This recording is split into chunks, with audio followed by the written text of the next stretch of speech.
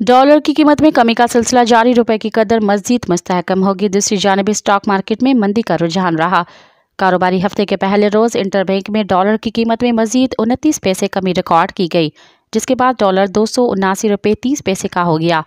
गुजशत कारोबारी हफ़्ते के अख्ताम पर डॉलर का रेट दो सौ उनासी रुपये उनसठ पैसे पर बंद हुआ था। दूसरी जानब कारोबार के आगाज़ पर स्टॉक मार्केट में मंदी देखी गई। पाकिस्तान स्टॉक एक्सचेंज के 100 इंडेक्स में 217 पॉइंट्स की कमी हुई।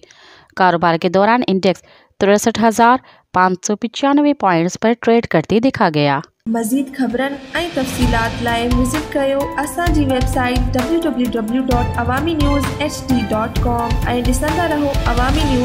डी।